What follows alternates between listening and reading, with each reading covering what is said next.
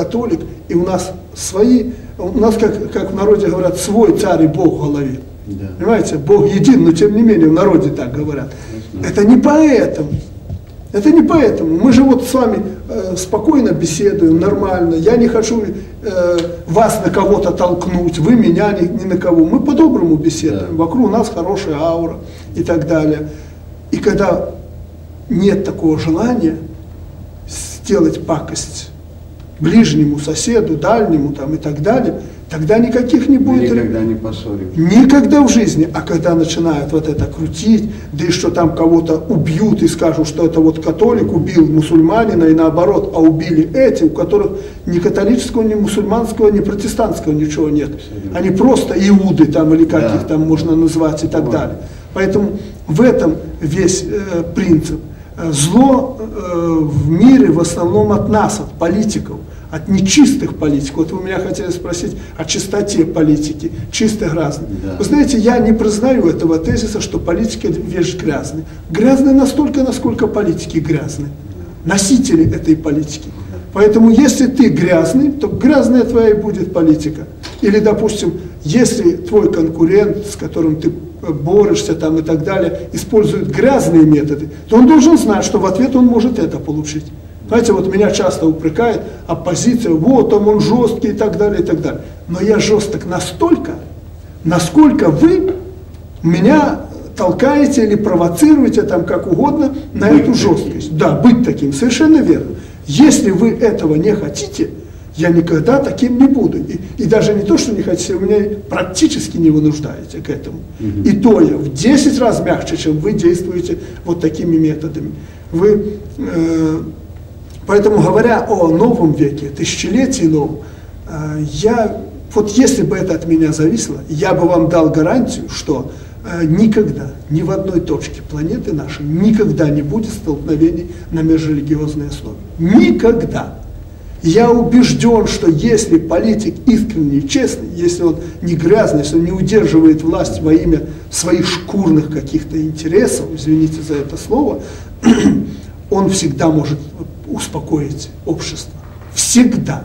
У меня не было таких крупных событий и конфликтов. Но было, когда общество или не наклонили, вот когда у нас несчастья были на, на Немиге, погибли люди, ну, ужасно погибли. Ну, кого там винить? Ну, самих только людей можно винить, что так произошло. И уже общество, то знаете, для Беларуси это э, исключение. И я искренне хотел стабилизировать обстановку, и я за полсуток стабилизировал. Вот люди как-то посмотрели на меня, успокоились, мы разберемся. Не надо идти э, стенка на стенку. Не надо винить там, что кто-то виноват, кто-то не виноват. Люди успокоились, и я оказался прав. Понимаете? Но я искренне хотел, чтобы успокоилось общество. А некоторые политики пытались это разыграть, политическую эту карту в своих целях. Вот к этим политикам я относился жестко. Я их просто вырубил, извините меня за это слово. Я их просто нокаутировал всяческими методами. Потому что на этом нельзя играться. Да. Это, это, это, свят, это страшное, э, но это, это святая, Трагедия. это жизнь, трагедия. На этом нельзя э, создавать себе имидж. Понимаете? Поэтому я думаю, что новое тысячелетие, оно не будет лишено каких-то конфликтов. К этим вот э, причиной являются э, амбиции политиков, бедность, вот это неравноправие, двойные стандарты. И уже эти люди, которые являются носителями вот этих вот несчастий в нашем обществе, они будут использовать и чувства религиозных людей, религиозно настроенных людей. А мир становится все более религиозен. Понимаете, мир все больше Такая становится. духовность возникает, потому что необходимо, видимо, человеку. Да, и в сложные, в трудные времена. У меня, допустим, свои подходы э, к этому. Э, Я хожу в храмы, поскольку там и люди наши, и, э, бываю, поскольку там люди. И религия сегодня спо- способствует стабилизирующий фактор такой, поддерживаю религию. Но вы знаете, я не скажу, что вот я э, в храмах готов броситься там на колени и лбом стучать о пол. Нет, я считаю, что у каждого э, в душе или же в сердце э, свое понимание Бога. Если вас, для вас, допустим, Иисус Христос это Бога-человек, там еще что-то и прочее, я считаю, что это символ. Я хочу, чтобы был, чтобы так было, вот как говорят в религии, чтобы так было, что был такой реальный человек, Это очень было бы здорово, понимаете? Я не скажу, что я уже настолько уже убедили меня вот за это время после атеизма, что я уже считаю, как вы. Нет, я, наверное, не, не, не созрел до этого. Но коль люди так считают, и это хорошо для нашего общества, и ради Бога я это поддерживаю, понимаете? Но я считаю, что э, Иисус это хороший символ, хороший ориентир для любого человека, даже если его не было. Даже если его не было, то это хороший символ. И, и пусть будет э, в душах людей. Наверное, пока у меня он так. И я там, ну, не боюсь там какой-то кары неземной и прочее, тоже до этого еще не дошел. Но я считаю, что вот все то, что сегодня происходит, и когда человек говорит, не твори плохое, там ответишь. Это тоже хорошо. И дай Бог, чтобы это так было. Понимаете, потому что, ну я историк по своему образованию, я хорошо изучал религию, я видел и недостатки, и, знаю, все было в нашей жизни. И католики, и протестанты, и давление было, и убивали, и, ну что только не было на религиозной почве. И церковь себя зачастую не солидно вела, за что Господь церковь и наказывал часто.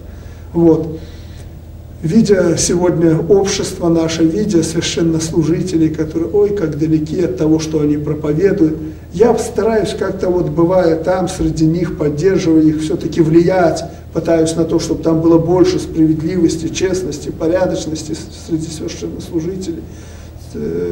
Я все-таки предпочитаю своего Бога, если можно так сказать, по-народному держать в себя в душе в своем сердце, понимаете?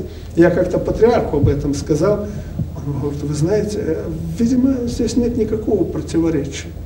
То есть я откровенно, это вот вам публично я высказываю это впервые в таком концентрированном виде, но я давно к этому пришел. Я даже в церкви говорю, говорил часто, что вот будучи воспитанным атеистом, я прихожу в ваш храм, в наш храм, поддерживаю вот то-то, то-то священники говорят, вы только не говорите, это, так я же говорю, как их воспитывали, что-то. Вы правильно сказали, даже в Библии есть слова, что человеку важнее воздвигнуть храм в сердце своем вначале. Ну, значит, я да. недалек от истины. Нет, повторили просто Слово Божие.